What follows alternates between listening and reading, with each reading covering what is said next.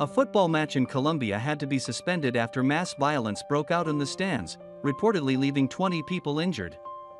Atletico Nacional and Atletico Junior were in the second half of their Prima A clash when fights between the two sets of fans caused the match to be halted. Once it became clear that a mass brawl had broken out, referee Nolberto Ararat decided to pause the match with 55 minutes on the clock, and it did not restart. Reports have suggested that several of the 20 fans who had been harmed were taken to medical centers near the Atanasio Girardot Stadium.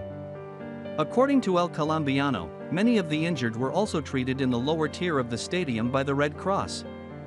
Following the horrific scenes of violence, Medellin's Secretary of Security, Manuel Villa, chastised the fans involved. Footage of the brawl captured from the stands suggests that one visiting fan wielded a knife on Nacional supporters. As the chaotic scenes worsened, fans in the area could be seen dashing away from the melee in the upper tier, attempting to make their way down to the stand below.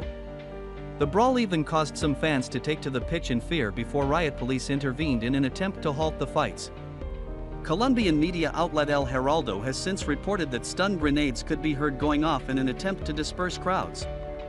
The stadium was eventually evacuated by the police with a new date for the fixture unknown at this time.